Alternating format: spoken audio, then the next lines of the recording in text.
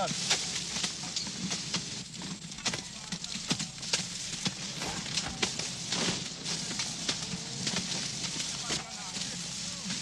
Well, I want to know ginger.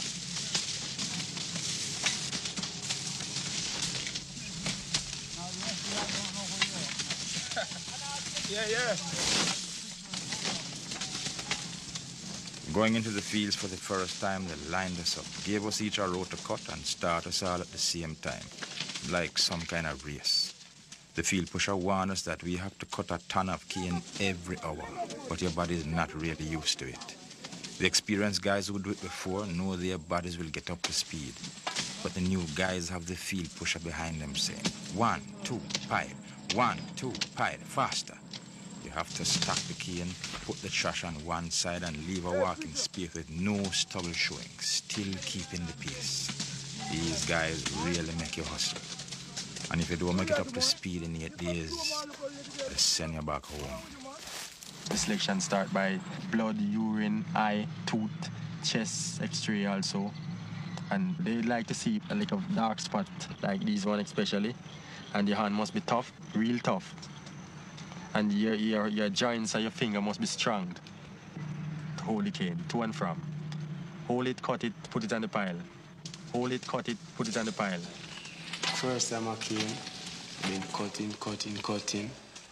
Boss come and say, well, have to go a little faster. Say, man, this is a hard work and I've been there working, working till I cut my work out. And some of the guy got faint in the field. It said they, you know, the sun is hot in our back. And I say, well, this is America, you know.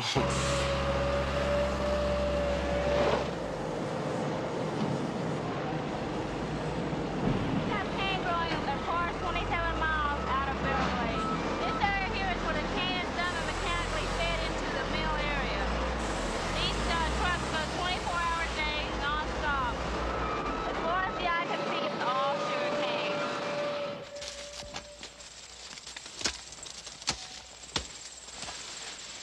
And see, a lot of these people have been working for me for, oh, years. And of course, they work good. You'd be surprised. Some of them's lawyers, some of them's doctors, bricklayers, carpenters. They're all different type trades, but because of their country's poor, you know, they have to make a living. And they and they're most of them's pretty good people. But the ones, if we get some bad people, we just submit their names to the Jamaican government that we don't want them back, and they don't come back. They may come to another camp, but they won't come to our camp.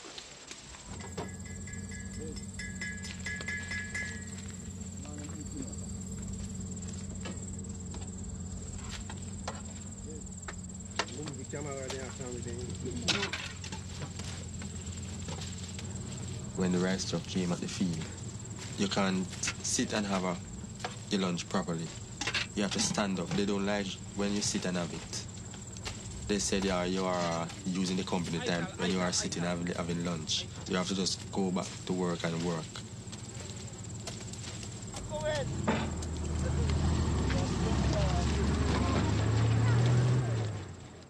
you know, you've got to, to pay all of the insurance and the transportation, et cetera, besides just the cutting of it. It's the other outside cost, the mess halls there for and the lodging them and feeding them.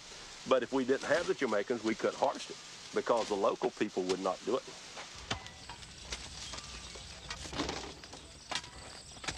Dear Mr. Bailey, compliments of the season to you. How is it over there? Is it much better than in Jamaica? Remember, things is hard out here, so please try and see what you can get out of it. But please don't work too much. Take things easy. The children is all right for the time. Until I hear from you, love, Mrs. Bailey.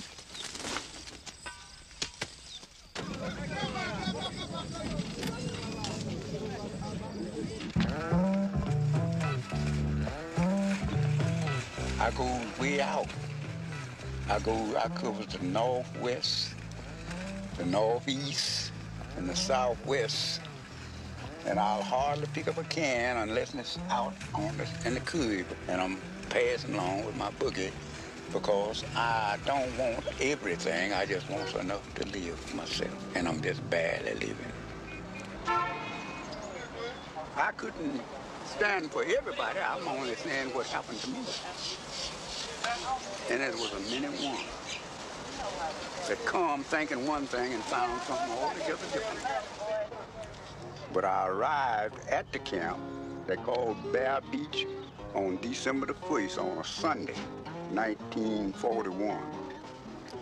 And that's where I spent my first night in the camp in Clewiston. Load 16 tons, so now what do you get? Another day rolled around deeper in debt. So St. Peter, don't you call me, cause I can't go. All my soul to the company store. Each fall after cotton is picked, cane harvest draws an army of laborers from the cotton country. Cane harvest is a social institution.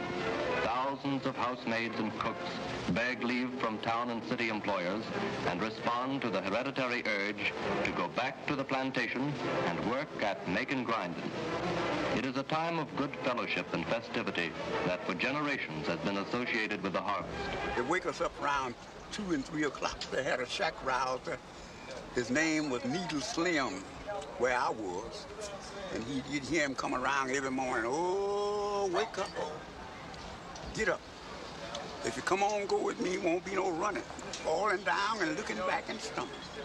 In other words, if you didn't get up, when the shack rouser roused you and went on to the dining room, he come around with a cane knife and a blackjack, beating you out the bed. And if you run out the door, it was one standing with a rifle making you get back in line, and you were gone. I found that it was almost same as a prison. But it wasn't nothing I could do but go along with the crew because we all was in the same boat. You couldn't run. Wasn't no way to run right right then.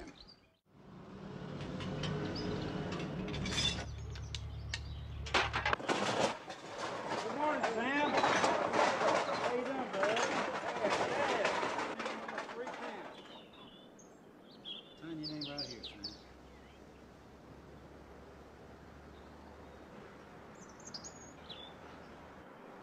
Okay, Sam, 66 cents.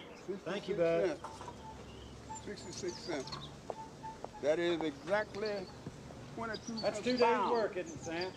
That's two days' work. So, hey, you want to hand that up?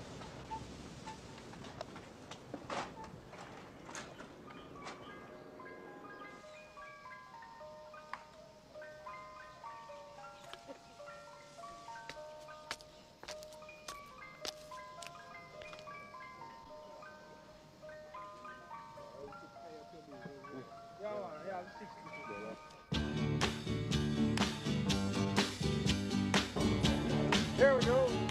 Welcome to the Sugar Factory. America's sweetest town.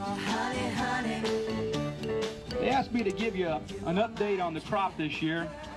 Uh, and I- it's a nice uh, situation to be sitting up here telling you this is the largest crop we've ever had in history. We harvested 400,000 acres of sugar cane and produced approximately 1.48 million tons, which is a lot of sugar. 43,000 people were employed either directly or indirectly with the industry, and the economic impact on the Glades in South Florida was $1.5 billion. Those numbers don't sound a whole lot, but I tell you what, when you think about the people that live around the, the communities in Lake Okeechobee area, it makes you realize how important this industry is, and we're just glad to be here. We're glad everybody came out to support the festival, and I got to tell you that in two months' time or three months' time, this was put together. Just wait till next year, and the following year, this is going to get bigger and better, and we hope the industry gets bigger and better along with it. Thank you very much.